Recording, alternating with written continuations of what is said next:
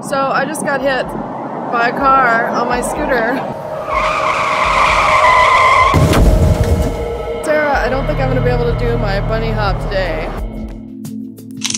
Haley got hit by a car and we couldn't do the planned Easter challenge. To cheer up, I thought maybe you want to do the challenge. I show you how to do it and no, you don't have to do it in the supermarket. It's fun, it's simple and basically everybody can do it, besides if you have knee issues or something.